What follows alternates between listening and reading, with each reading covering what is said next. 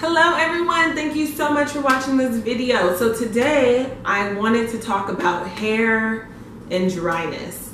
If you are a natural and you are complaining about your hair being dry, I have a few questions for you and I have a few tips for you. So I'm gonna get started with that now. So it is May.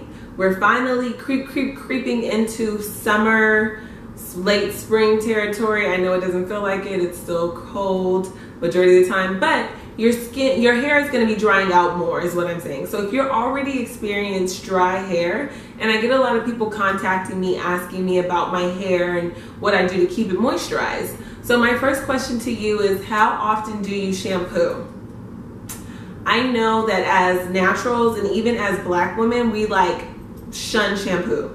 I know that me personally, I'm just always like, I was I don't know. We just didn't really like to shampoo our hair a lot. We we would like we were taught we didn't have to, and you know we like to keep our buildup. So my question is, if you are co-washing, and I know a lot of naturals are into this co-washing thing, you're not using shampoo. So if you're not using shampoo, you're not really getting to your scalp. You're not cleaning your scalp. You're not removing buildup.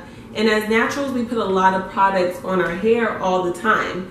So it's important that you start with a clean base. So if you are experiencing dryness, dryness, I recommend that you kick up your shampoo technique and your shampoo routine. What kind of shampoo are you using? Are you using a shampoo for color treated hair if your hair is color treated? Are you using a shampoo for dry scalp if your scalp is dry? What are your needs and what kind of shampoo are you currently using? Okay, so that's that question. My second question is how much water are you consuming? What's your water consumption like? Are you drinking enough water? Number three is how often do you deep condition?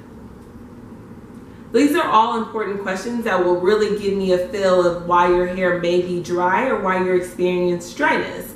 So I encourage you to find the correct shampoo.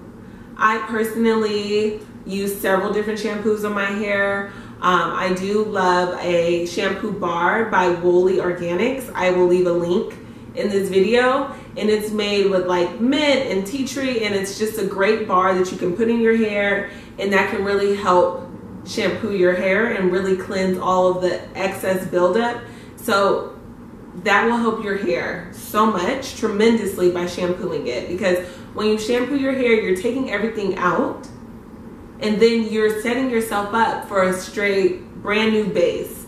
You're setting your hair up for success because you're able to really lock in um, lock in the products that you're using without worrying about buildup. All right. So shampoo, water consumption, deep condition, and last but not least, I would recommend shampooing your hair. If you have oily hair, I would say shampoo once a week. If you have oily natural hair, yes, shampoo once a week and reset your style. And when you do reset your style, try the LOC method, which is liquid oil, cream. Okay, so wet the hair, apply an oil, apply a cream, and then do whatever style you're gonna do, whether it's a wash and go, whether it's a twist out, whether it's a braid out. Try the LOC method, okay? So these are my tips.